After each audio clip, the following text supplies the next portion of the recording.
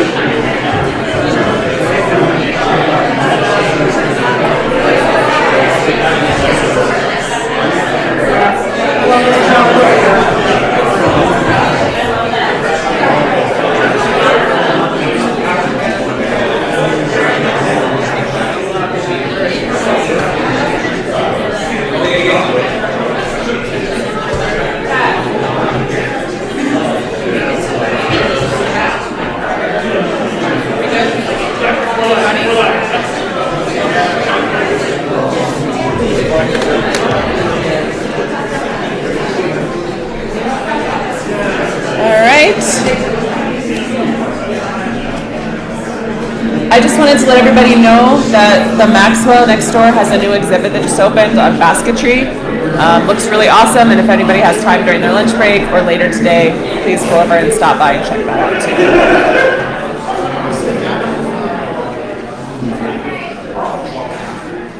Okay. All right, we're going to get kicked off again. Um, we are going to start back up. We've got a few papers before we'll take another break for lunch later. Um, our first topic, our first presentation now is going to be by James Snead.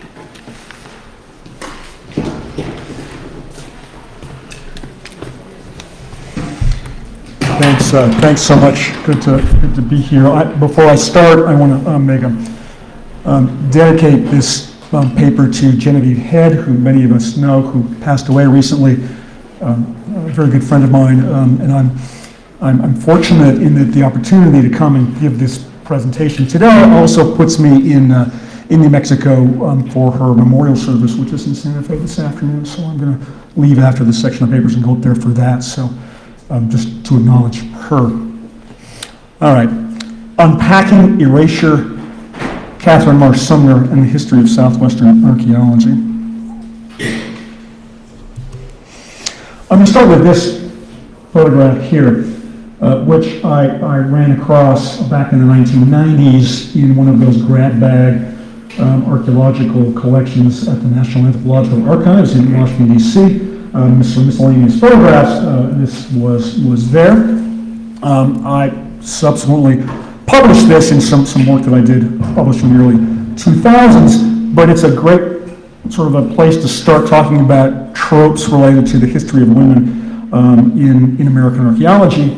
So when I found this image, I was looking for uh, Richard Wetherill, who you can see in this photograph, um, and I was aware from the limited um, documentation for the image that, um, um, that the other members of the party were the, the Sumner family, and an address was listed in Washington, D.C. Um, and uh, the fact that there were, were, women in the image was interesting um, I, in that generic way, but I was thinking about Richard Wetherill. So the, that was the end of that story right there, and it's you know it's you know it's published and it's it's that.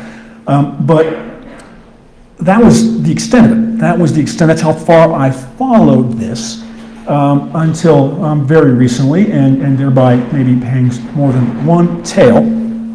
So, looking at the history of women in Southwestern archaeology, particularly, um, engages multiple different kinds of tropes, of which I'll, I'll present maybe three of them here just to start with.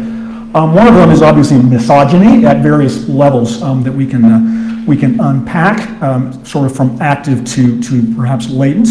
And I should say that one of the stimuli for me um, working on this project right now came from my mother, who asked me once over lunch at the shed in Santa Fe about six or seven years ago, sort of casually, if there were any women in the historical things that I was writing about. And, and my first response, I'd have to say, was, was defensive. Um, I said, well, yes, uh, but my mother was um, patient, and uh, so I went back to my notes and looked at the women that were in my notes that did not end up in the publications. Um, and then I went back to the archive from which the notes were derived, and there were more women there that I had written notes about.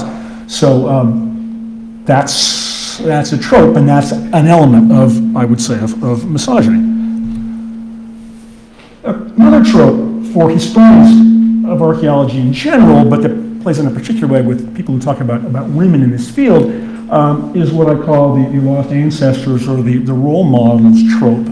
Um, we are we're deeply um, attached to our field in most cases, and oftentimes the people that we look for in the past are people who prefigure us. And when I say ancestors here, um, I'm not talking about predecessors. I'm talking about people that um, that are in the past of archaeology who maybe prefigured us in one way or another, um, which is a sort of a uh, presentist bias like most of us have.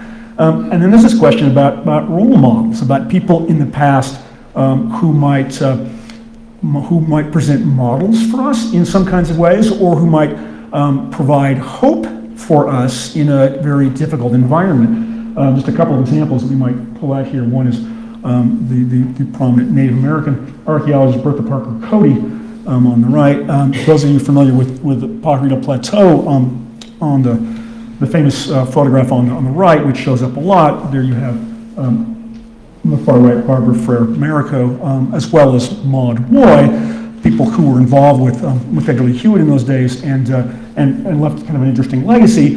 But, but in the end, I would have to um, suggest that there are only so many people like this um, that we can, that, that existed in the first place, but also that we can, that we can find out more about. Um, and, and, and also dealing with the challenge of, you know, uh, not taking them on their own terms, taking them on the, on, you know, they- they're the people that we want to find, that we might, um, we might uh, see in our, in our own history. Um, a- And this image um, I find particularly relevant in that case. This is another Pajarito Plateau figure. This is uh, um, Edgar Lee Hewett on the left lecturing to one of his uh, field schools or um, summer schools, if you like, um, in the Frijoles Canyon in 1912. And I would say we can probably identify Hewett on the left, uh, Frank Springer, and uh, Charles Lummis um, on the right. Uh, the majority of the people in this image are women, um, and I would gather that almost none of their names are known to us today. Um, even and even if we knew their names, could, that could be that could, the information could be obtained. They would not necessarily ring a bell with us because they weren't archaeologists and they did not go on to be archaeologists. But yet here they are um, in an archaeological context in 1912, and that by itself, I think, is is telling us something about maybe some, some directions that we should pursue if we're going to really understand um, this history and this, these relationships here. I should also notice that um, if for any of you that, that might have seen my article on uh, Elizabeth Duell in the El Palacio in their recent issue, uh, she's um, probably the woman on the far right, um, unfortunately placed between Frank Springer, but also um, Charles Lummis, with whom her career was unfortunately um, entangled. So there's an evidentiary bias as well, right? What, where do we go? Where do we look for these folks if they're not in our own annals? If they're not in, if they're not in the places where we, where archaeologists look? Um, there are, you know, there are some traces of folks, and you know, these, these women in particular um, have some presence in the Edgar Lee Hewett papers, for example. So there's, that's not, that's not a hopeless task. Um, but in a perhaps more specific way, um, we need to broaden our perspectives. We need to dip into different archives, and we need to look at things um, that we wouldn't necessarily uh, think were relevant in a professional sense. So, um, in a few minutes, I'm going to show you a, an image from um, an archive at the Denver Public Library from the, um, the um, I guess it's the yearbook of one of the Denver women's service organizations, and I would say very few archaeologists have ever used those kinds of resources. Um, and yet, for where we're going, that they're quite useful and, uh, and informative. So, so lots to unpack here. So, this is a, a, a case study, if you like, um, one I'm working on now, and I would say that there actually is a paper attached to this. So, if anyone's um, interested in that, I've got to tune it up a little bit, but I would be happy to send on, on to folks. Just email me, and I'll pass it on and for, for comment, etc. So, my topic would be Catherine Marsh who is um, the woman in the center of this image. Um, the Marsh family um, were newspaper folks in uh, Sheboygan, Wisconsin, and uh, we have on the, the right side Laura Marsh, and we have Catherine Marsh and their sister Helen Marsh, all of whom are pertinent one way or another to this story. Although let's see if I'm going to soak up too much time here, so we'll see how far we can get with them. Um, sort of middle class, upper Midwestern folks. Um, Laura was working for dad at the newspaper and her brother. Um, and, uh, but in 1880, they got the, the bug. Um, by this time, Catherine Marsh was married to George Sumner, who was an attorney. Uh, and the combined Marsh and Sumner families all moved to Durango, where the, uh, the Marshes um, took on the, uh, the Durango Herald. So there was, uh, you know, all the whole sort of combined family all moved west um, and, and lived that kind of sort of frontier life, if you like, um, but on a sort of a middle class level. The, um, the interesting thing with Catherine Marsh Sumner is that she became interested in archaeology. And it's possible to trace a little bit of this interest going all the way back to, to Wisconsin. Her father, um, Jerome Luther Marsh, actually excavated a mound on his property um, in rural Wisconsin at one point. Um, and so there's, there's sort of a family tradition there, if you like. Uh, nonetheless, when she arrived in Durango in basically 1880, 1881, um, the, the indigenous heritage of southwestern Colorado is reflected in archaeological um, things, um, attracted her. And so much so that she became quite involved with this. And I owe Fred Blackburn a, um, a shout out for this, in that um, he had traced, a, it's published in his book on Richard Wetherill, um, traced a, an autobiography by a man whose name was Byrne, who was one of the, the surgeons at Fort Lewis. And Byrne wrote in his autobiography about how his wife, Laura Lawrenson Byrne, and Catherine Marsh Sumner were spending time um, excavating sites in the, in the Durango area. Now, we actually know very little about that, um, but my hunch is that there are newspaper sources. that the Herald is not digitized, for instance. So there are probably newspaper sources in southwestern Colorado that would be could be mined for more about these particular kind of activities. But it is worthy of note that we have very few um, firsthand accounts of women excavating um, in southwestern archaeology at all as early as, as the 1880s. Well, this leads us back to, to this photograph here, um, which is one of those that were in that box at the National Anthropological Archives. Um, connected to the Mesa Verde um, and to the Sumner family. So here is a visual record of one of those very, very early um, trips to, to Mesa Verde, less than you know, a year after the Wetherill family had identified Cliff Palace, et cetera. Um, and here the Sumners are. Um, and there's a, we're going to get to this erasure thing as we go here in a second. Um, but that's, uh, you know, those are the names, those are those folks. And, and contrary to my original impression, um, I've got, they weren't from Washington at all. They were from Durango. And that sort of casts a whole different image on this photograph, 1889 being, being very, very early there. Um, um, I should note that uh, Catherine Marsh Sumner shows up in a lot of these pictures, but not very clearly. Um, particularly interesting here um, to the left is her daughter, whose name was Helen Marsh Sumner, and she actually, Helen went to Wellesley ultimately and became a fairly renowned um, economist in the 1910s and 1920s. So there's sort of a, of a, of a lineage of women here that's worth unpacking a little bit in the longer version. So where this led me ultimately was um, an accession file at the Peabody Museum in, uh, in at Harvard and some further documentation indicating that Catherine Marsh Sumner herself was conducting excavations at Mesa Verde during this um, 1889 trip, and, and then sort of preceded by these other less documented episodes there. And in fact, there are collections in the Peabody that connect to her excavations here at, at, um, at Mesa Verde. Now, um, we could, you know, we could stop here. There's a little more in the documented record. There's also um, a suggestion that, that um, she or a member of her family, and that's not entirely clear, excavated at Pueblo del Arroyo in 1892 or 1893. Um, that's, that's a little bit more ephemeral, but there are, there's an artifact from Pueblo del Arroyo in that collection. Um, and the suggestion is that, that, that they, someone was there during that, that period. So that by itself is interesting. And we can stop right there. We can stop and say, okay, um, you know, here's a here's a, a, woman doing something that we can necessarily anticipate at a fairly early time. But maybe that's playing into that lost ancestors trope about, you know, about a, a precedent for what we do. Uh, and uh, what I am trying to do now is push that further a little bit in maybe a, a, a slightly different direction.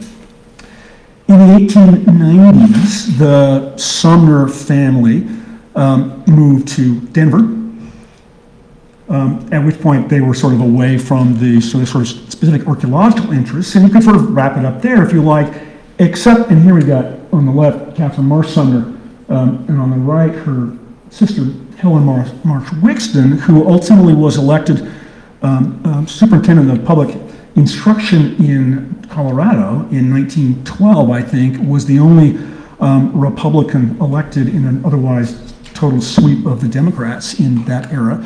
Um, a dynamic, interesting person of her in her own right. Um, I should also say that their third sister, Laura um, Marsh, in Santa Fe, where her parents and her brother moved after they left Durango, um, was was very influential in the cultural life and the literary life of Santa Fe um, up until um, she died young in 1898. So there's a whole uh, this, this network of women and families and things is really quite quite interesting here. So, but where I want to go with this in the few minutes that I've got left is um, is here. So this is the documentary record, the minutes, I guess, of the Monday Literary Club in Denver in 1894.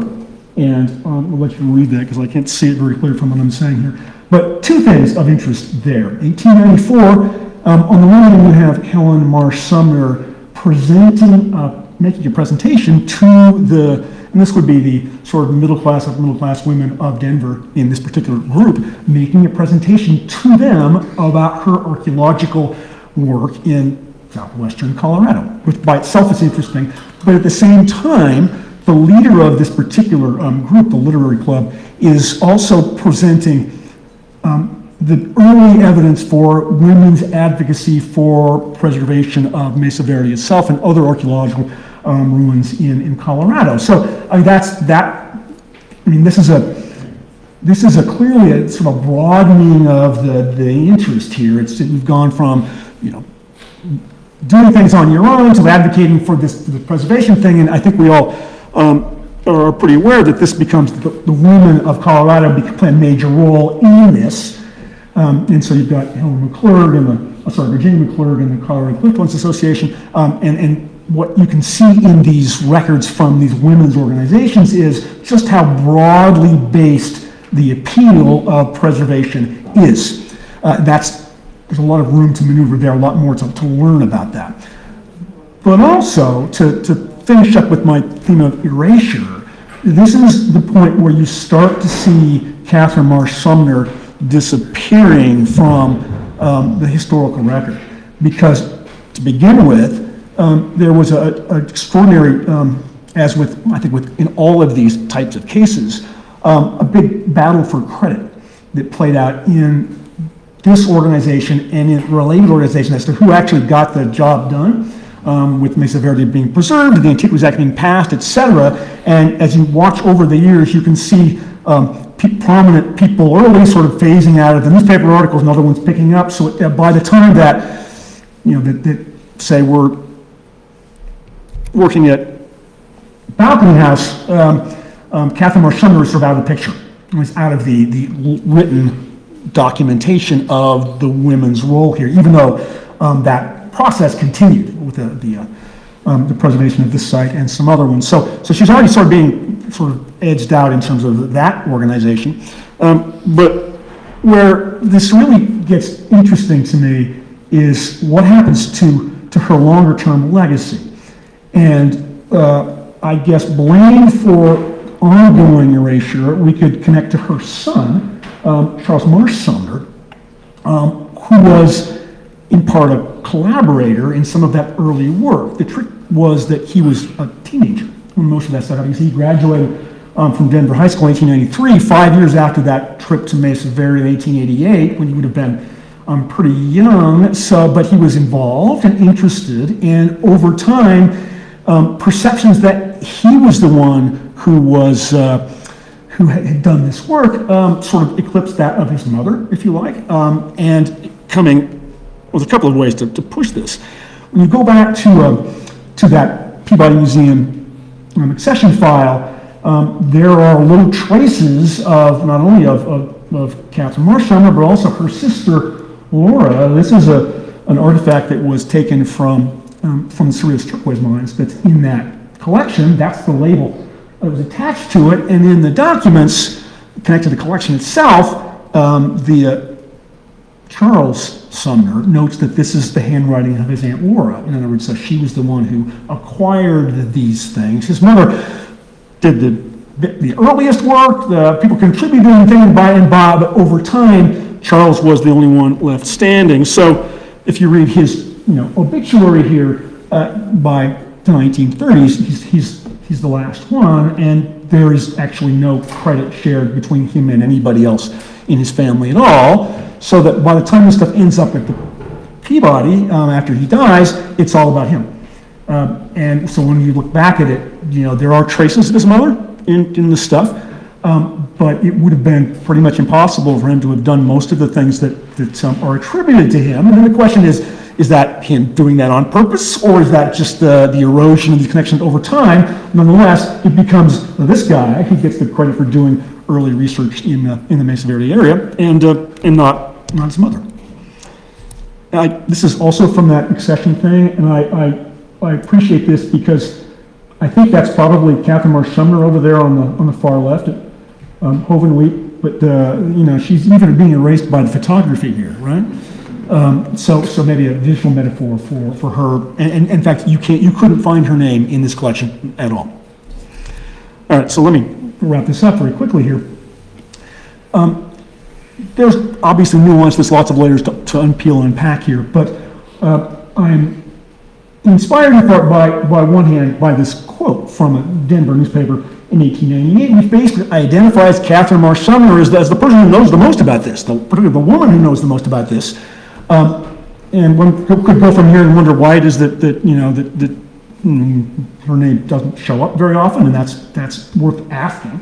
Um, on the other side is one of those photographs from that Smithsonian box, and um, and I think it's a sort of a I take it for a kind of a double-edged metaphor here. On the one hand, it was taken at the beginning of their excursion, right? Our cheerful beginning, um, which you know leads them up to Mesa Verde. Um, but you notice that even though the, there are women and men in this image, you can't really see women because they're back in the shade, and it's the women in the front. Um, and so maybe that's uh, maybe a little more pointed aspect of the metaphor that we could pursue, and it needs to be addressed through our, our research on the history of women in American archaeology.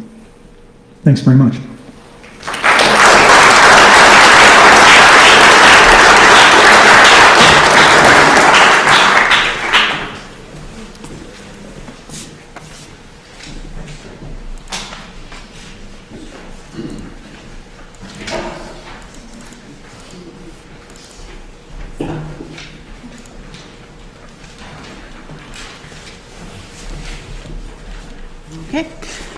Our next presenter is going to be Brian Kenny talking to us about George McJunkin. George McJunkin.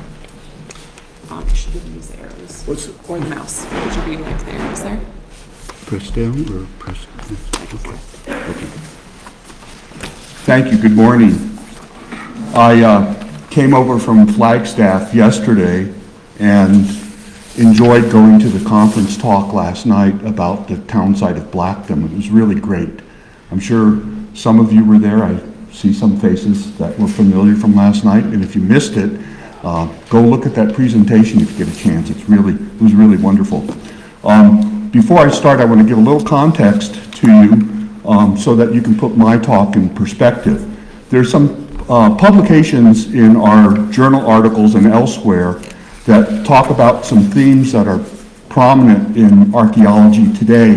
And I'm just going to mention these real quick because later on you can go back and read these articles and then plug my work into that and see where we're going as a comparative sort of uh, um, exercise. So um, I just was looking through the journals that we published, American Antiquity, recent article uh, by uh, et al., Archaeology and Social Justice in Native America.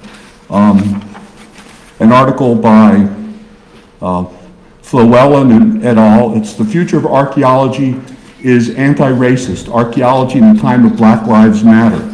And then um, a recent article in American Antiquity by Bonnie Pib- Pitblado, Pitblado on rehumanizing Pleistocene people in the Western Hemisphere. And in this article, she talks about George McJunkin for a few sentences. So there's a, there's a thing going on in American archaeology about um, social justice and about um, anti-racism and about anti-colonialism. And then there's another theme that's going on that's important to archaeologists. Uh, there's a recent article by Jeff Altschul and others that um, uh, forecast for the US CRM industry and job market, and it mentions that um, there's about $1.85 billion of work to do in the next 10 years, and we don't have enough uh, people to do the work because we don't have, one of the problems is we don't have field schools, or we should have more field schools. So with that in mind, um, I want to start my talk. I have 20 individuals who have helped me in the past 18 months um, that I call, these individuals, I group them as Team McJunkin. So they're not mentioned in these slides, but there are 20 people who have helped me directly get some work done, and I, I want you to know that this is not my work, but a team effort. You get a little irritated reading some books like Black Cowboy by Franklin Folsom, um, because it's a wonderful book and it uh, is novelistic in a sense. It takes you through a story. But if you're an archaeologist, you throw the book down, and that's how I got started in this project 18, 20 months ago, reading some of this literature like this and stuff in, in the old archives where, where the writer says, George had a cabin and he put all the stuff in it and the cabin burnt down and everything was destroyed, period. Of course, you know, the archaeologists think immediately, well, where's the stuff? It's in the ground. Where's the next sentence? Where's the next paragraph talking about the materials that were left behind? Well, this book is historical and not archaeological, so it leaves a big question mark. Where's all the stuff? So that's how I sort of got involved. I've been reading about George for years, and I decided I wanted to do something. So what I did was a little thought experiment. Um, we've been collaborating for the past 18 months, and we're talking about George McJunkin, who was a black cowboy and a ranch foreman who died approximately 100 years ago, and a little over 100 years ago in January 1922. And this presentation today is our third presentation. We gave two at the Pecos conference this summer. And we're currently discussing um, how to write a themed volume for Leading Journal. And um, we're also talking about, as a team, uh, the idea of some sort of scholarly earth sciences and archaeological field school for black, indigenous students and people of color who might want to participate, get their hands dirty, catch the bug, and decide to join the profession. So like this morning, there was a land acknowledgement um, mentioned this morning. We gave one at the Pecos conference, and I put it on here so that it's captured so that you can see it and use it in the future if, if need be. We acknowledged um, Native Americans and a long history that goes back 10 or 25,000 years. We acknowledged, um, since we're talking about a, a, a, a black man working in a, in a rural northeastern New Mexico community, we acknowledged uh, uh, slavery in America. He had been a slave and become a free man very young in his life and then moved to New Mexico. And we recognized that um, people achieve despite the burdens that have been placed upon them, and they give us some inspiration for how we can keep and win our own freedom from repression. Uh, we also acknowledged the ranching families that are out there. They came, survived harsh realities, and thrived in many different ways, and they helped us do this work in the field um, in the few instances that we were able to get to Folsom, New Mexico over the last 18 months. Um, so the last bullet point is probably the most important. It says that we acknowledge that people can come together to solve problems just as easily as they can fall apart, and working together clearly serves the better method. Well, this project is about working together. We've done a lot of working together, and I'm very appreciative. Um, I also have a general disclaimer that I just have to mention quickly. Um, we're still early in the research game. We're still engaged in that stuff that's called forming, storming, norming, the normal processes. I think we're sort of in the storming stage, trying to figure out what to do with the materials that we've been looking at. So I can use great ideas from all of you if you, if you uh, have read extensively, or if you're going to read extensively, or if you have thoughts that immediately pop in your mind from this presentation, you can certainly help educate me and uh, get me on the track for the things that I need to be looking at. I did a little experiment. I mentioned the desire uh, to start the project in 2021, and then there were a number of people who joined me, volunteered to join me, and uh, several of them went to Folsom, New Mexico to conduct different tasks. But while I was in Folsom, I asked the residents of the area um, about historical sites that were associated with George McJunkin on the private property. So private property was important because I didn't want to be on state land or federal land of any sort and have to deal with permits. I wanted to do rapid ethnography, talk with people, find out what was there, and be able to start documenting it so we could use it. Um, so each time I had a conversation, I'd say, show me, you know, we'd look at a map on a phone, on a piece of paper, some sort of format, we'd say, show me where the sites are. We, we mark them out, and then we came up with about a dozen, maybe 20 historical sites that were related to McJunkin or to other important activities in the area. For example, there's McJunkin sites there, but there's also cemeteries, there's also an Irish railroad camp, um, the town dump site, things like that, where you can find archaeological materials. Um, so these sketch maps um, that got plotted out on digital maps identified some different variations in site knowledge or local common site names and precise locations.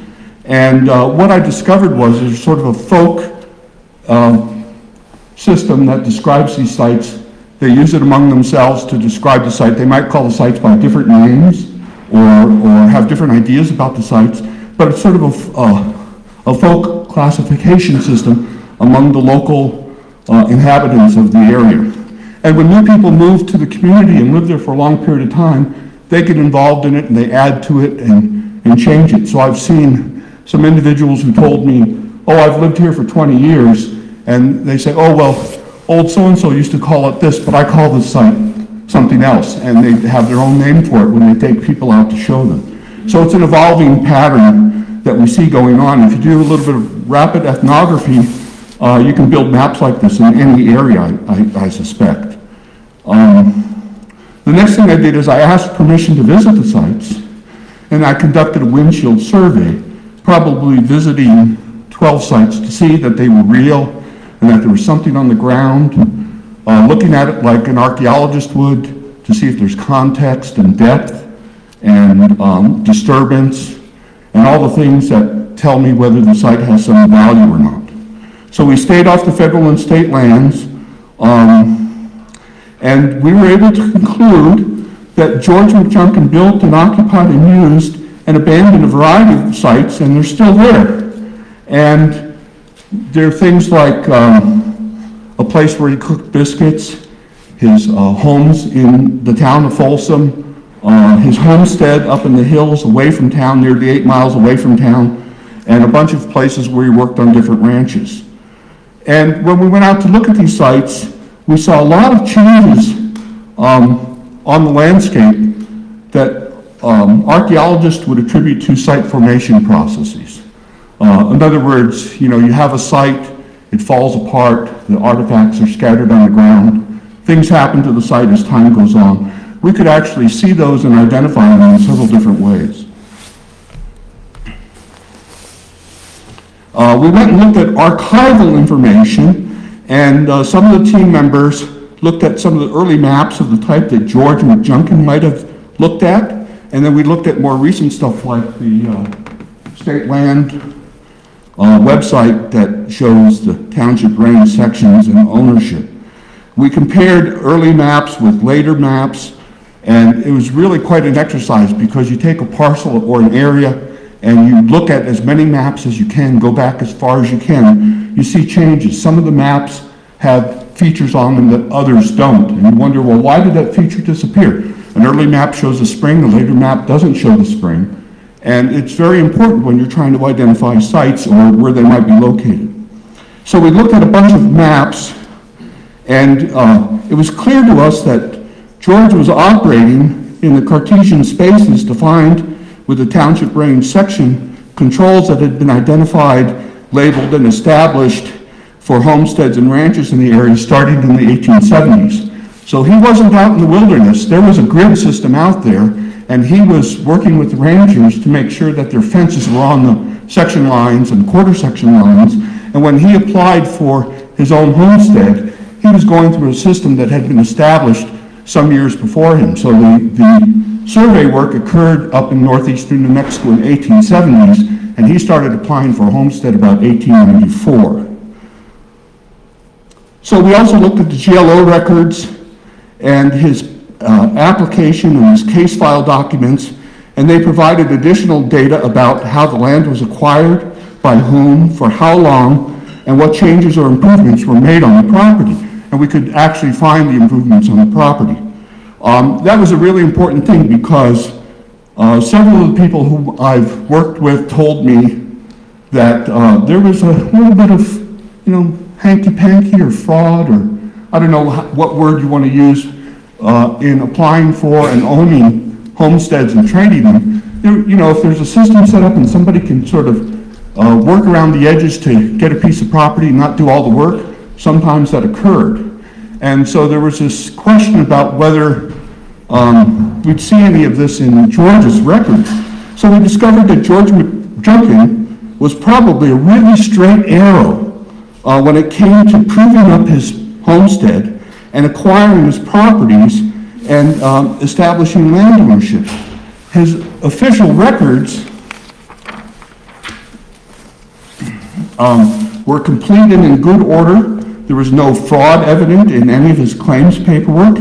He made the improvements that he said he made, and you can still see these features on the landscape. Uh, the records really seem to corroborate that he fully engaged in the homestead rules and was a true believer in making his claims and building his fences tight. Um, so it led, led, me, at least, to wonder how George McJunkin had developed such a strong sense of land ownership and private property. And uh, the records seem to demonstrate that, but where that came from, I'm not really sure. I think it's the local environment. Everybody had to have a parcel and be able to define it, and he was part of that system. Um, the, the U.S. Census records, a different set of records, also show George living on his homestead, and he was enumerated there in 1900 and 1910, indicating that his interests were long-term. Remember, he had filed in 1894. So he was there as late as 1910, and um, that's in keeping with him wanting to stay in the area and earn a living by working at the different ranches. Uh, we also examined historical aerial photographs where they were available of the local community to see what kind of changes uh, might be affecting archaeological sites. So one of the funniest things we found was we found an aerial photo of his burial location. Uh, we've, we've been to the cemetery, we know where he was buried, but we saw an aerial photo of it. And in the early days, that cemetery had an entrance on the east end. You see the photo up, up here. The, the cemetery had an entrance on the east end, and then later on, the entrance was moved to the northwest end. And that was probably because a road was ab abandoned and a new road was built, and you can see that on the aerial photographs. So what it means is George was buried, when he was originally buried in 1922, he was buried at the back of the cemetery, away from everyone else.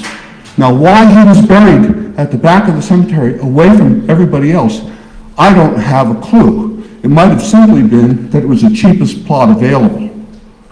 Or who picked it, we don't know. But you go to Folsom today and you go to the cemetery, you walk through the gate. He's now the first person that you see when you walk through the gate. And it's simply because the gate's been changed because the roadways have been changed. So we see those sorts of formation processes and they can, they can fool you. What do they mean? We don't really know. I think George was a scientist, an architect, and an engineer. We, all, we always describe him as a black cowboy and a ranch foreman, but I think he's really a scientist, an architect, and an engineer. I include, uh,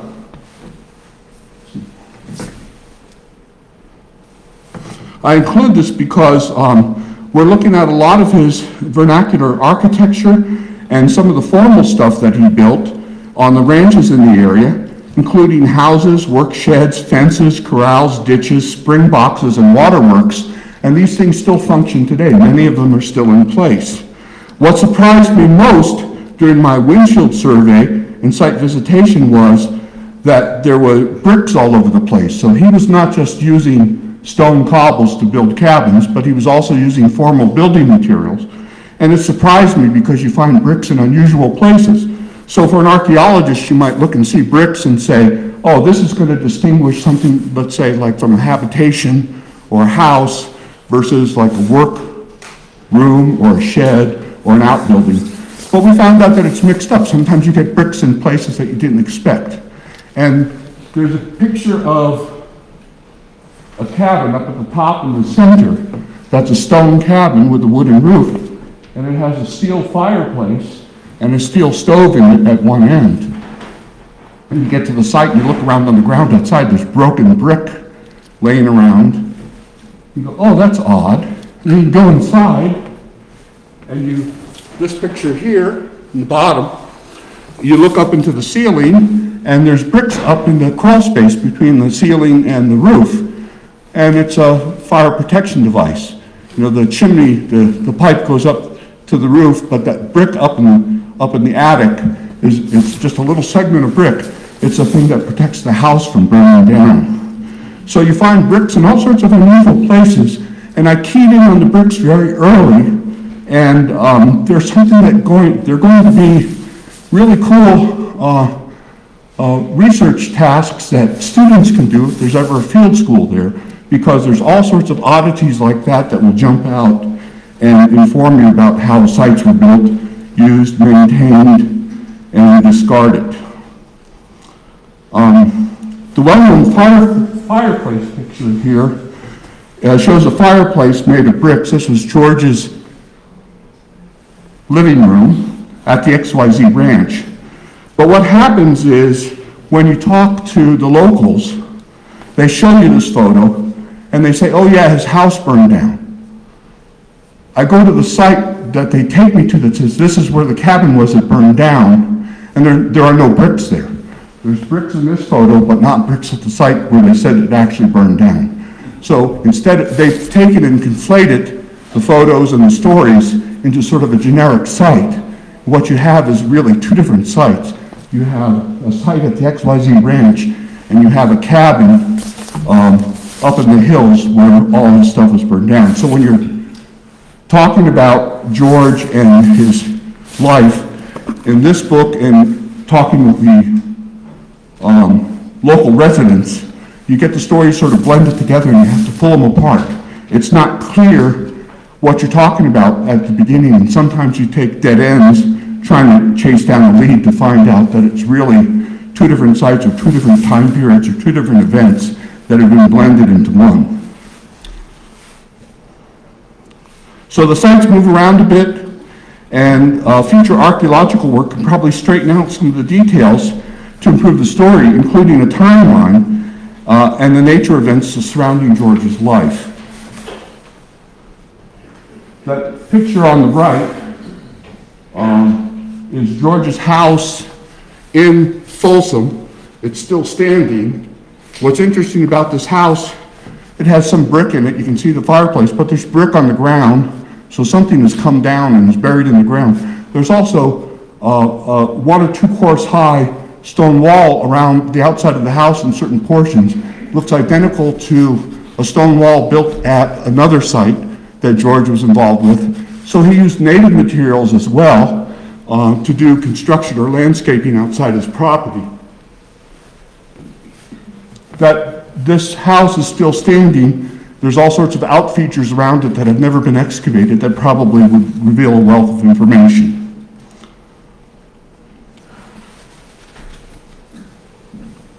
the picture at the far left corner, you can see a house in the background, which is a later kit house, like a Sears house that was built in the 1920s, that's now abandoned. But down in the foreground of the photo there, you see a square outline. It was probably George's um, shop where he did his farrier work and, and his, his metal work. There's a lot of scattered stuff on the ground there. So here's a standing house and then an archaeological site in outline, and who knows what's around it.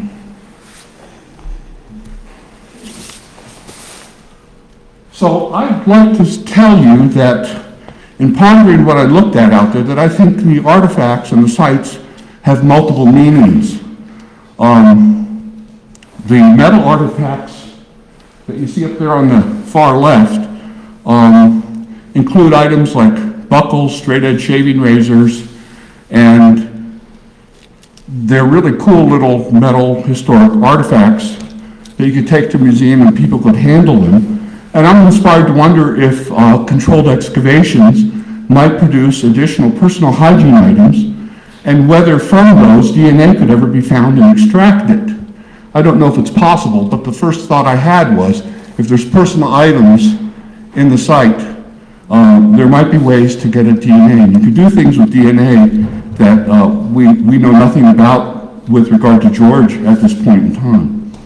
There's an 1870s glass bottle base from the Mississippi Glass Company was found at one particular site that, at the cabin that burned down. So the glass company existed from 1870 to 1880. We're talking about a 1915 uh, era site, maybe 1918 era site. And you have to think to yourself, you know, why is there a,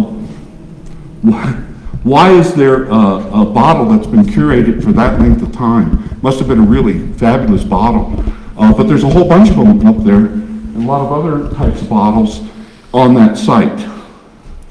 And then at this site, at uh, um, Springs, there's lots of buried features and ample surface trash.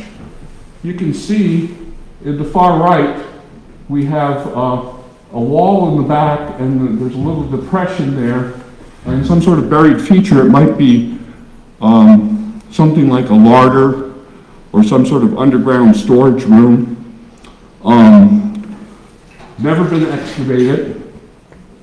Seems to be intact in situ. Uh, once we dig into it, we don't know what will be there. But um, this site is full of archaeological material. And then we go to another site like George's Homestead. We can see his fences and his water features, and we can see the area where, where we think his cabin was. It's dense vegetation, so we need some more survey work. But there's very little trash around it. So you say, why does one site have so much and another habitation site has so little? And one of the locals said to me that, well, when you're out on the ranches and you've got a little cabin, you've got to take the trash away from the site and dump it in the arroyos because of the bears. So the discard behavior close to town is one thing, and the discard behavior out in the hills is something else, maybe. And you wonder, well, is there no trash on this site because of garbage bears? Or is it something else or a combination of factors? So these are things that students could explore and archaeologists could explore to figure out what these patterns mean. Um, the picture on the lower right of the slide uh, depicts the layout of the ranch house at the XYZ. That's the one with the fireplace that you just saw. And there's a lot of literature here and elsewhere that George spent a lot of time with the ranchers' kids trading horse lessons for reading and writing lessons so he could become a literate man. And the comment was made in several different ranches that he lived with the families and he was part of the family. So I don't know what that means, but when you look at this uh, drawing here, here's the household at the XYZ, but the slide shows the man's room is abutted to the house and it only has an exterior entry door. So all the other rooms in the house inside the house can be accessed from inside the house, but his room is outside the main building, and he can only access it from an outside door. So there's something there about status or family, um, family connections that, that needs to be explored, but we, we don't know what it means yet. He probably was with the family and part of the family, but the way we would define it today might be different the way archaeologists would identify space. So these sites and contexts and artifacts have multiple opportunities for understanding the past at different levels and scales of depositional um, activity and different scales of mid-range cultural theory. We don't know what it means at this point in time. Now, the thing that I'm thinking about by looking at the sites, that George was a really straight arrow when it came to documenting uh, government documents that he had to produce and providing community service and conducting construction in the community. And he was a craftsman in many other ways too. His personal and community artifacts lead me to wonder how he came by such great personal agency. That would be a research theme that we could look at is, here's a cowboy who comes to Folsom and he has great agency. So he demonstrates his skills. He actively sought opportunities to make money, to build his reputation and status in the community, and all these things probably helped him earn a living and, and thrive. Uh, he has a spring box at George Spring up at his homestead, and it still functions today after 100 years, as do some of his fences, corrals, and irrigation ditches that, that still run and produce water from the hillsides and the springs down to remote fields that grow hay and alfalfa, mostly hay. Um, the photo up in the upper left shows George on horseback on the far right side there. You see a little arrow pointing at him. He's wearing a white shirt and he's playing polo at a community event. Now, nowhere in the literature does it say anything about George playing polo, but he was a, he was a man of his times, and that was a sport among horsemen, and he was part of it. He demonstrated his skills and he built his status and his reputation in many different ways. He always wore a white shirt, or mostly always wore a white shirt, even when he was cowboying or working as a ranch foreman, and he kept it clean because he wanted to demonstrate that he could work physically and still properly maintain his attire. His saddle above jumped out at me. This saddle is at the museum in Portales. And um, I looked at it and said, my gosh, on the, on the seat of the saddle up towards the horn, there's a maker's mark. And so I started researching the maker's mark and had some of my team members working on the saddle as well. The saddle and its maker's marks reveal an expensive piece of equipment that was built in Cheyenne, Wyoming by a well-respected saddle maker. We checked several museums in the region around Folsom, and all the saddles are local. Now, you know that museums collect things for different reasons, and so it's not a perfect sample. So I don't know um, how the museums collected those artifacts, but when you just compare it at the gross level, all of the saddles in all of the museums surrounding Folsom are all local saddles, all made by local craftsmen. George's saddle is the only one that is exotic, that comes from quite a distance, very well made, much more expensive, and higher quality. Um, does this mean that George McJunkin was actively building his reputation among his fellow cowboys and townsfolk while he was the foreman or the chief cowboy of the uh, cowboys out on the out on the trail? It makes you wonder when you look at the artifact if you came to town and saw that saddle on a well-trained horse, standing somewhere tethered to the pole, you'd probably think that the owner was a man of means of, and of skill and high reputation. So George was really active in selecting his clothing, his gear, his outfit to make sure that he let people know that he was somebody that was reliable, trustworthy, understood culture, understood style, and, and could get the job done in a, in a very um, fluid and um, ex- excellent way. So we're not really sure about any of this, but just looking at the artifacts in the museums and looking at the sites, we're inspired to think that good archaeological and archival work could be combined to confirm and strengthen some of the McJunkin story and tell the story in a different way than we understand it now. Um, I think the material culture is the stuff that provides incontrovertible facts to our understanding, um, and we haven't done enough of that with George. Um, the artifacts, now here's the odd thing, the artifacts and historical records all suggest that George was on the side of the colonist and the capitalist system. He participated in it fully. He owned private property. He had a, st- strong sense of property ownership.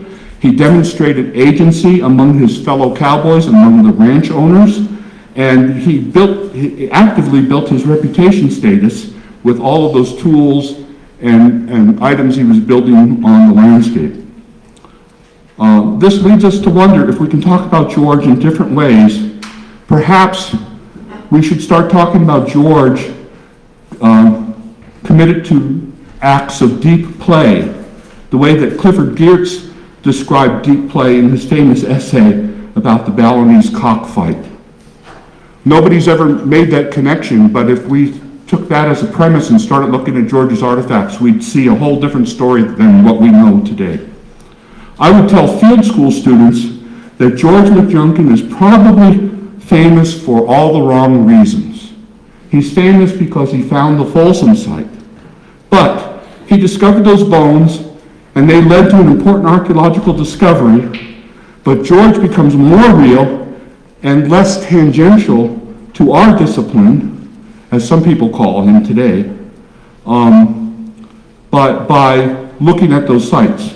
If you ask an archaeologist if George knew what he had at the Folsom site, there's a lot of discussion about it. Mostly it comes down to saying he really didn't know what was going on there. Um, but, um, so he's discounted and he's only a peripheral story to the archaeological community. Oh, he found the site, that's great, but then somebody else went on to do the work and, and, and make, the, make the claim.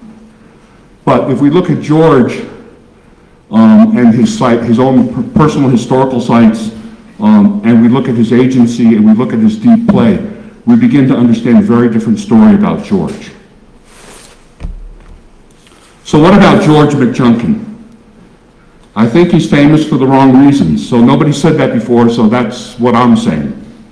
Um, the Folsom site's a great part of our history, and George McJunkin's recognized. It's disputed that he knew anything, um, I've had conversations in the last couple weeks about that very subject with colleagues. Um, so the story, I think, about George and Folsom has turned a bit static. It's not really growing or changing in the archaeological profession. So I have a feeling that the site is not where George McJunkin is going to make any additional mark in the future.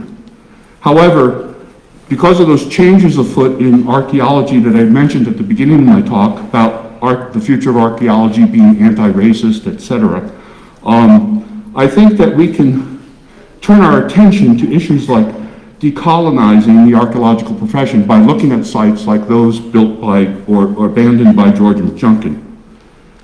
I'm wondering if Georgia's uh, historical sites and artifacts can help in this way, and I think that they might.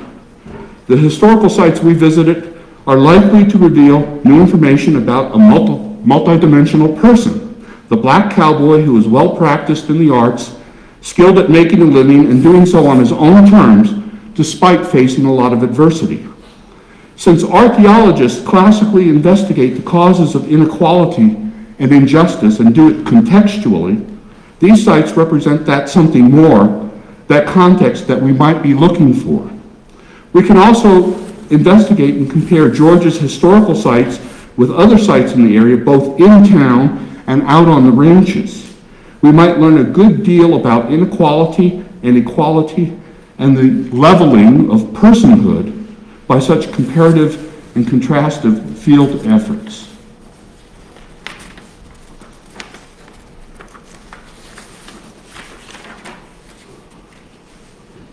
These sites do provide a place and a context and theme to introduce black, indigenous, and people of color into the scholarly work of prehistory and history of the Southwest for a season or two or maybe five.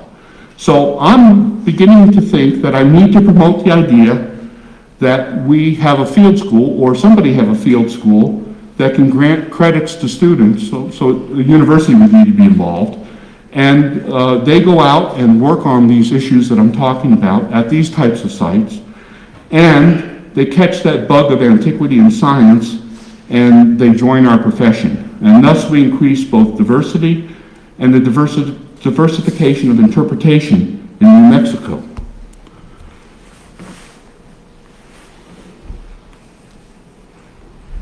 Here we are. I put the slide up here because you'll be able to catch it later and read it.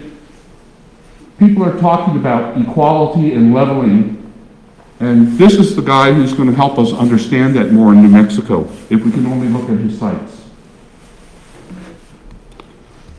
So finally, I'm really inspired to wonder about such opportunities. Um, there are several types of works that can be done in the future, and there's only a little bit that's been done so far. We basically have a windshield survey. We're talking about writing a couple journal articles to describe this so everybody can see it. So that's the next step, and then we've got to figure out if we can go beyond there. We need the goodwill and participation to advance the idea of having a black, indigenous, people of color archaeological field school. And uh, we need cooperation to make sure other methods are employed to strengthen and diversify our profession. Thank you.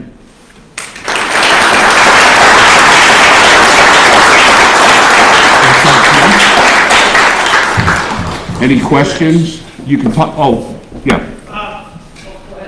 Oh, uh, I have a question about the saddle. Um, You mentioned it was of unusual origin, but um, how typical was that pattern of saddle with a very high back, um, looking at other saddles? Just Uh, I think, I think the company in Cheyenne, Wyoming who made the saddles made a number of those, so there might have been a number of cowboys who had saddles like that, but there were none in the Folsom area, so George stood out. But it is a, it is a type of saddle with a high horn on it, and I think the Spanish cowboys, the Mexican cowboys, preferred some of those saddles to some of the western saddles that you see today. Exactly, I was actually thinking that it really reminded me of a bullfighting saddle.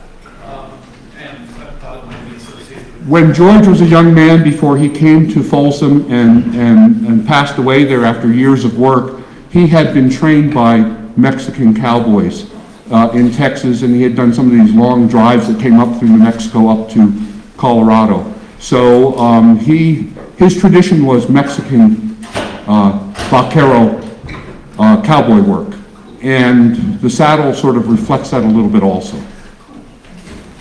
Have you looked to see if you had any uh, sonic symbols uh, that uh, percolated to the top of your research?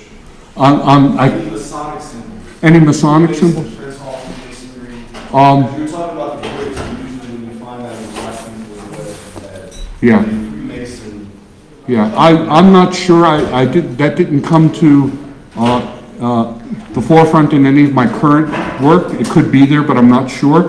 When you go to the town of Folsom, uh, there were some early, uh, Spanish settlers and and sheep ranchers, and then, uh, a lot of the ranchers who moved in, uh, came in from places like Kansas and Missouri, and they were immigrants also. The Doherty family is a, one of the families.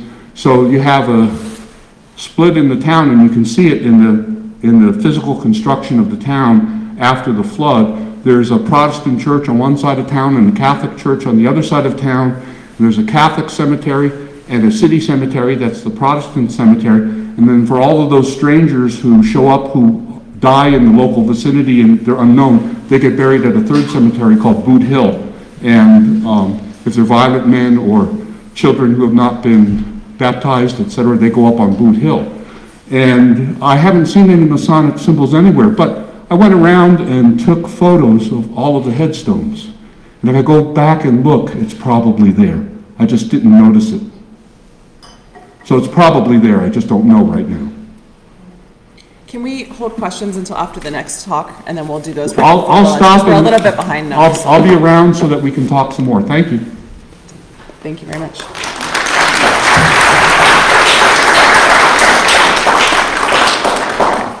Our next presentation is going to be by Karl Laumbach.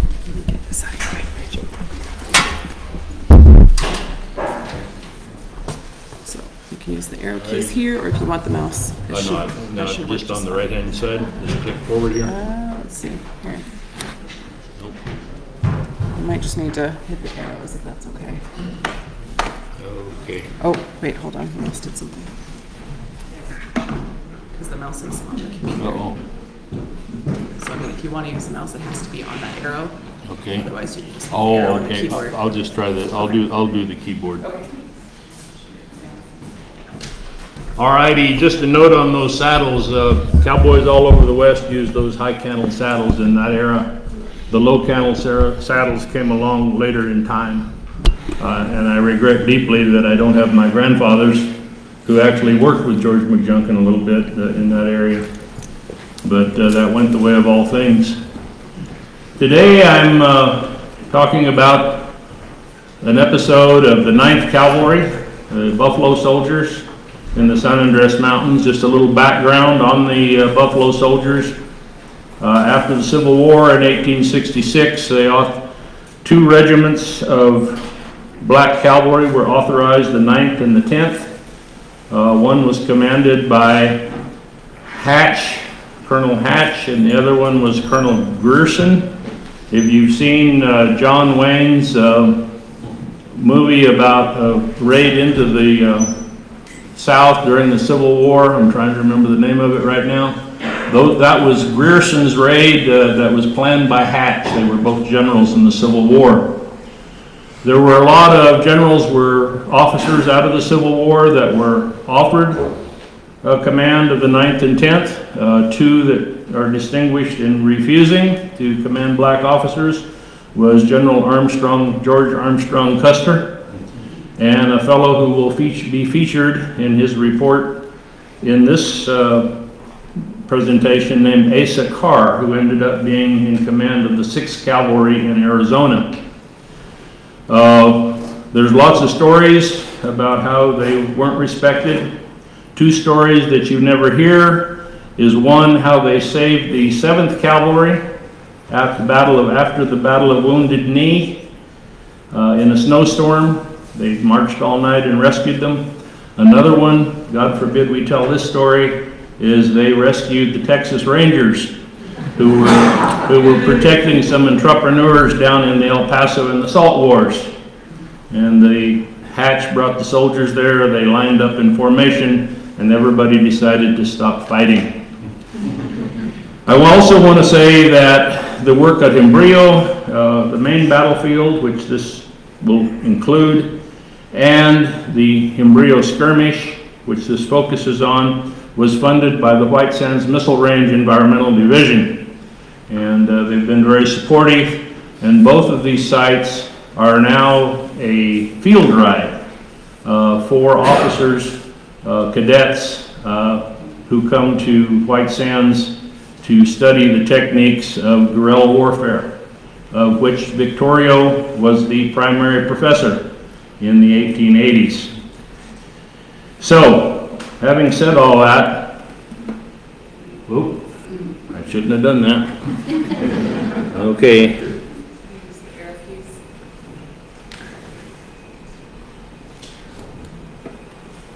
Nope. How do I get rid of it? Is it gone? Oh, good. Okay. On April 5th, 1880, a veteran lieutenant, no? Well, I won't be able to keep it right there, There we so, go. Yeah, no, hit just this one? Yep. All right. In 1880, April 5th, 1880, a veteran lieutenant led an undersized company of 9th Cavalry Buffalo soldiers into the San Andres Mountains in search of Victorio's Apache. The San Andres Mountains are located next to the White Sands in southern New Mexico. The Victorio War was the end of a 10-year struggle by the Warm Springs Apache to maintain a reservation at Ojo Caliente located in southwestern New Mexico. Victorio's band totaled approximately 60 warriors and 100 women and children. Nane was one of his trusted lieutenants. Both Victorio and Nane were over 60 years of age. Colonel Edward Hatch commanded the 9th Cavalry Buffalo Soldiers and the 15th Infantry, which were white. In January 1880, Hatch made plans to end the several-month-old Victorio War. Unfortunately, there are few photographs of 9th Cavalry Buffalo soldiers in New Mexico. This image uh, is of Hatch's funeral escort in 1889 as his non-commissioned officers. Two of these men were at Hembrillo. Knowing that Apache scouts would be the only effective way to pursue Victorio, Hatch obtained three companies of scouts from Arizona. Accompanying the scouts was Company L, 6th Cavalry, led by Captain Curwen B. McLellan. In early 1880, Victorio brought his people to the Hembrillo Basin in the San Andres Mountains. It was a safe place, a stronghold with permanent water. Hatch organized three battalions. One, commanded by Captain Henry Carroll, consisted of four companies of the 9th Cavalry at Fort Stanton. The other two battalions gathered at Palomas. In March, it became known that Victorio was in Hembrillo, where he had been joined by a number of Mescalero. Captain Carroll was ordered to the east side of the San Andres Mountains. Hatch would move from Palomas across the Jornada del Muerto to attack Victorio's camp. Historians have relied on six cavalry officers to interpret the Battle of Hembrillo. Primary are the memoirs of Second Lieutenant, Lieutenant, Lieutenant Thomas Cruse and Captain Curwen McLellan's company Return. In late March, Carroll left Fort Stanton. He overnighted on April 4th at Malpai Springs in the Tularosa Basin. According to Cruse, the troopers watered at Malpai Springs, unaware that it contained gypsum uh, in sufficient quantity to make man and beast ill. Partially incapacitated, Carroll pressed on to an unnamed spring, but the second spring was dry. Now remember, this is the 6th Cavalry account. Carroll arrived at Hembrillo by about 6 p.m. on April 6th. He had split his battalion, sending two companies to a sure water source at San Nicolas Springs. Carroll led two companies toward a spring in Hembrillo where they were attacked and surrounded by the Apache. From Aleman, in the middle of the Jornada, Hatch sent McLellan towards Hembrillo on a night march with one company of 6th Cavalry and the Apache Scouts. McLellan reported, On the morning of the 7th, I reached the point designated and found that the Indians were there in force. Occasional shots were being fired, but it was some time before I could discover to whom this fire was directed. I at once proceeded to put my pack train and animals into a secure position and ordered the Indian scouts to the attack, and gallantly they went into action. In less than half an hour, we discovered Captain Carroll with his company in a helpless condition, he being wounded twice, and eight of his men also wounded. Through some misapprehension of orders given, he got into the pass one day too soon and was, when discovered, completely at the mercy of the Indians. Colonel Eugene Carr, fellow I mentioned earlier that had refused the commission with the Black Cavalry, commander of the 6th Cavalry, has scathing remarks about the role of the 9th Cavalry at Hembrillo. It appears from this report that the only fights during the last campaign in New Mexico were principally carried on by Arizona troops, and the one on which Colonel Hatch reported that Victorio was so badly punished was commanded by Captain McLellan of my regiment, who found Captain Carroll's company in a condition of helplessness. Thus, the 6th Cavalry took credit for rescuing the 9th. A volunteer who frequented the Hembrillo Basin in the early 1950s led us to cartridges and breastworks in the basin.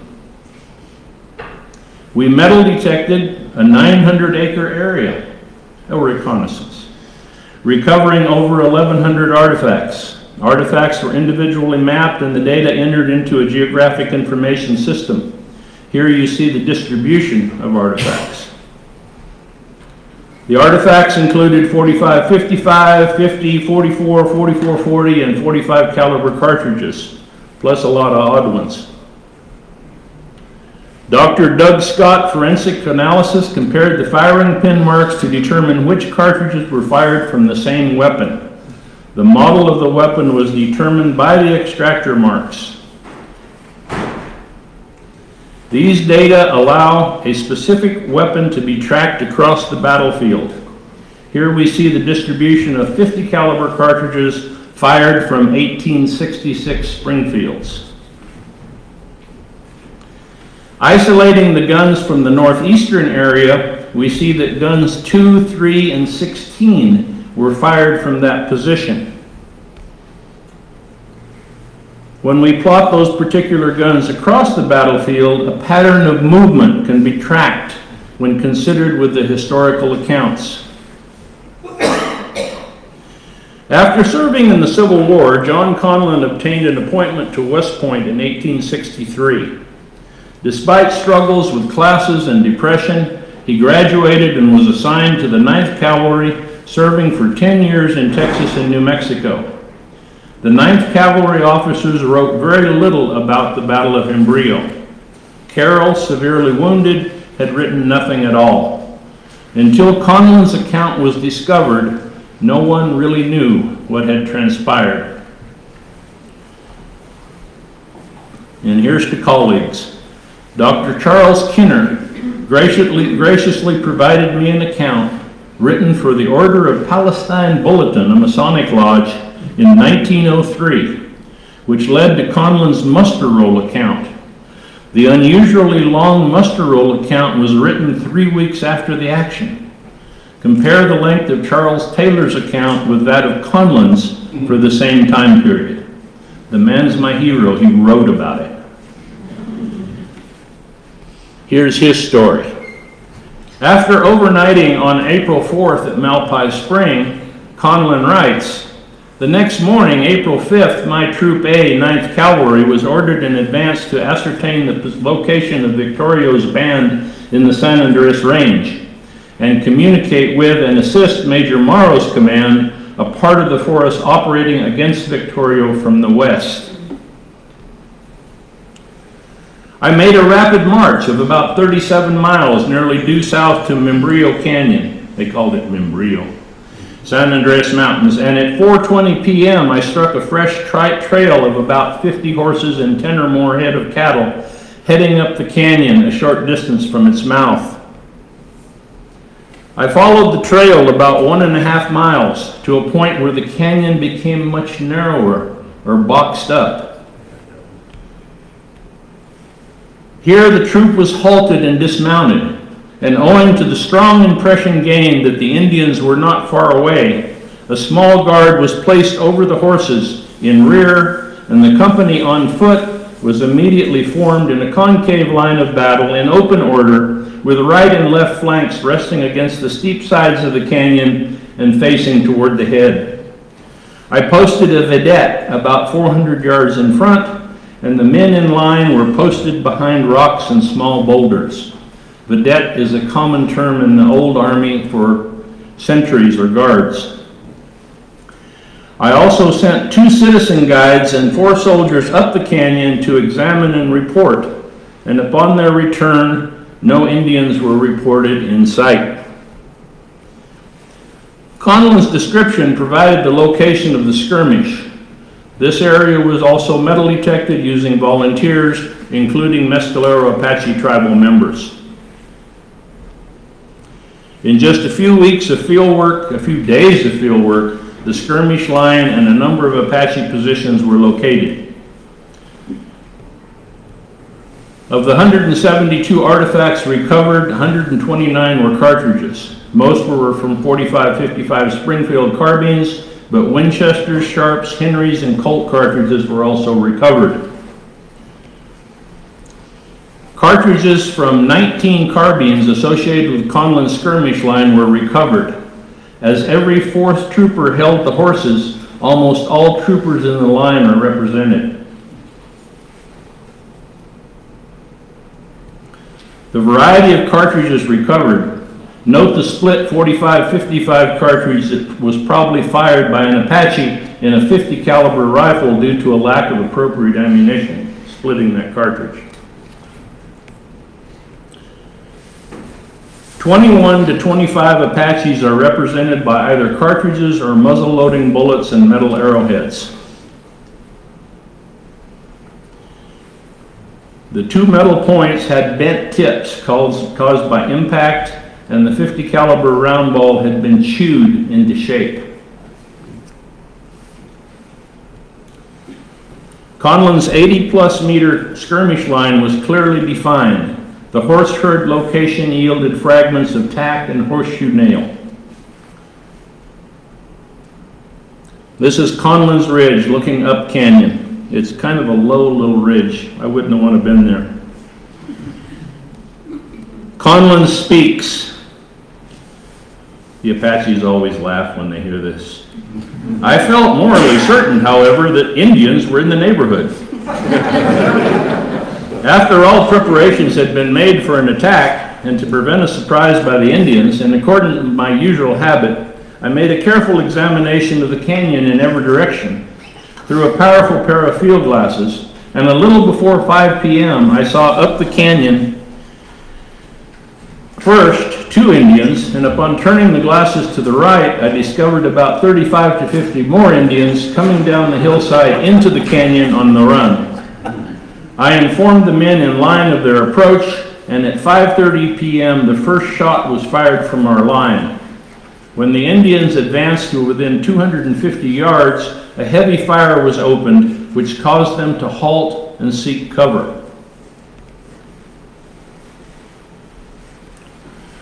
Cartridges showed that Conline's vedettes were positioned by a boulder located 100 meters in front of the skirmish line. Cartridges from the same three carbines are found between the boulder and the skirmish line as the vedettes continued to fire during their retreat. The Apache offensive was slowed but not halted.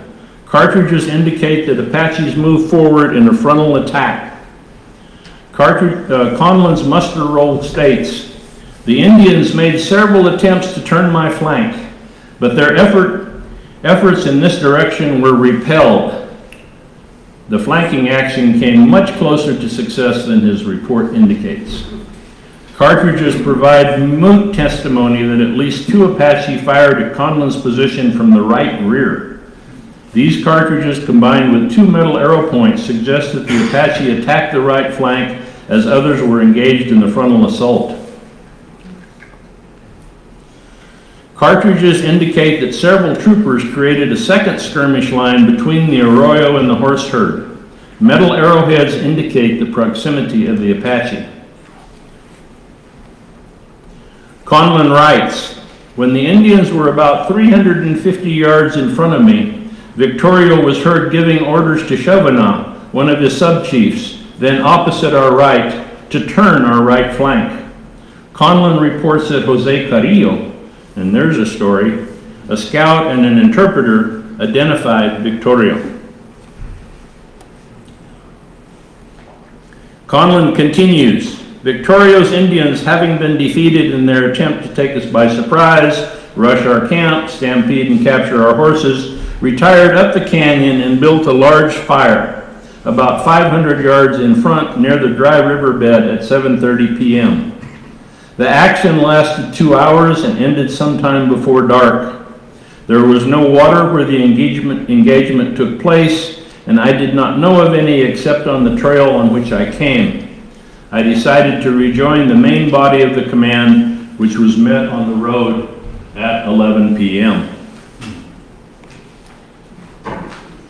Conline's troops disengaged and rejoined Carroll's 2nd Battalion on the Salt Trail. a long-established road for wheeled vehicles leading to the Salt Lakes west of Malpai Spring. Carroll took aggressive action.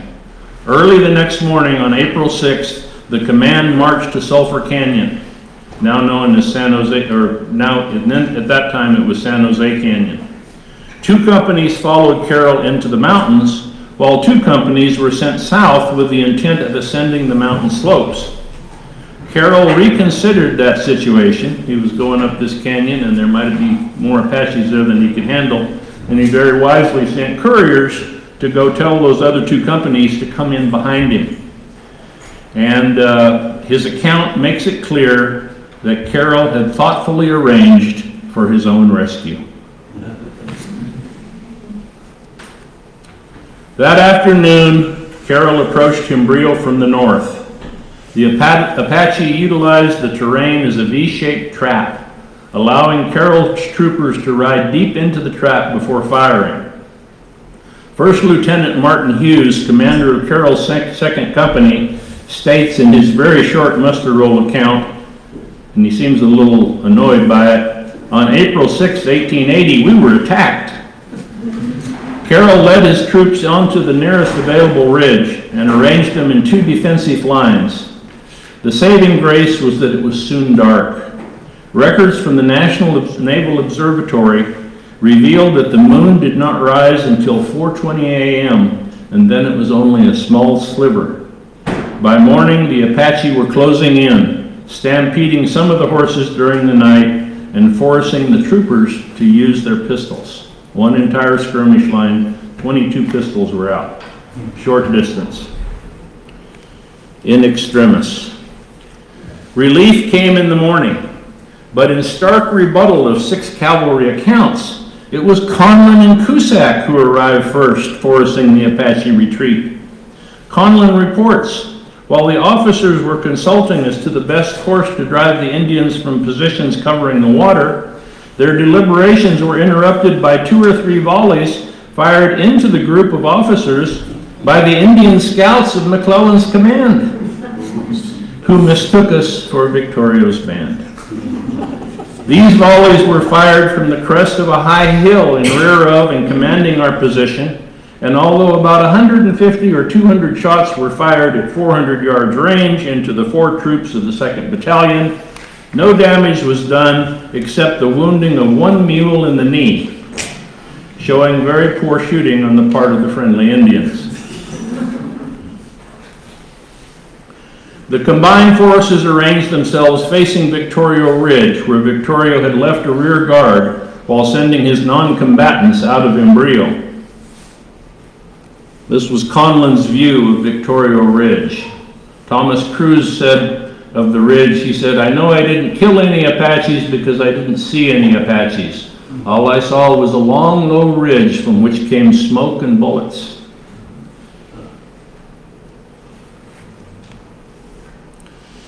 The Apache scout companies executed a flanking action while the troops advanced.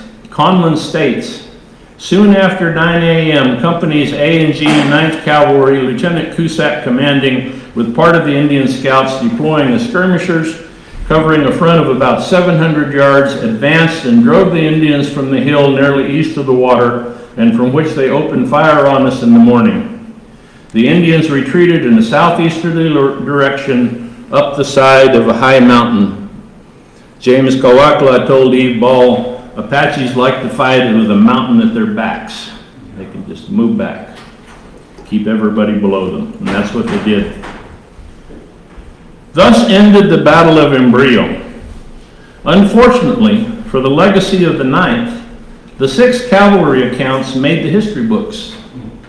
Researchers have consistently repeated Cruse's account of the bad water at Malpai Springs, and all his troopers.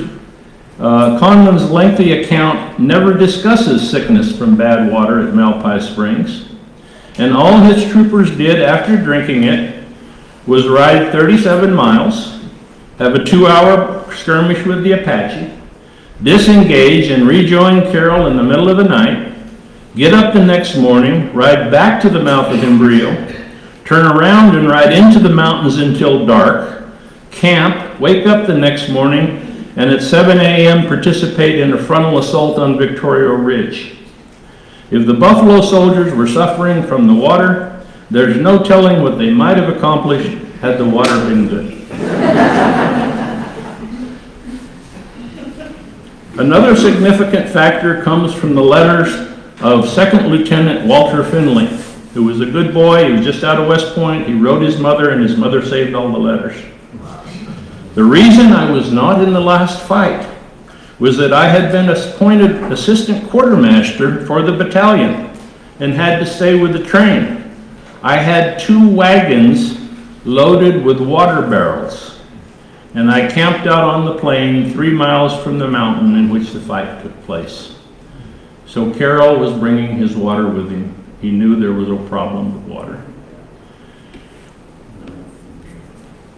Carroll had the advantage of established roads. A military road from Tularosa to Fort Craig led to Malpai Springs, and then the salt trail led south. Knowing that water was scarce, he brought it with him.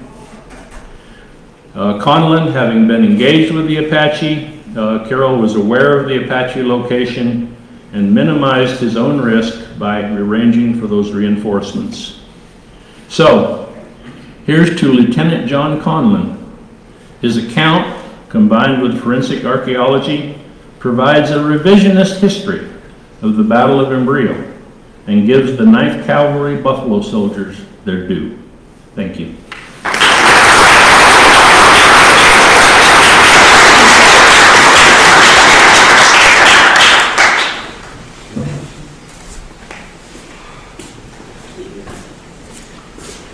All right, uh, we've got a lunch break till 1 o'clock. Uh, We're going to have the um, NUMAC board meeting here in this space just for the next few minutes before we take a lunch break. Anyone's welcome to stay and attend that if you'd like to. Um, Is, is Mr. Snead still in? We had one question. Oh, we had one question from the the chat. Yes, another Um, let's hope they can hear me answer from here. So, uh, is there any evidence that the the female personal secretaries, personal assistants, lab assistants, and et cetera, for the better-known male anthropologists were actually involved in interpreting anthropological data, even if they are not formally acknowledged in any publications? So I would say that's a big question beyond my specific expertise. Um, at this period of time, that division of labor was not clearly as established. Um, I would expect, and the answer would be yes, would my expectation, but, uh, but we'd be getting beyond what I particularly address here.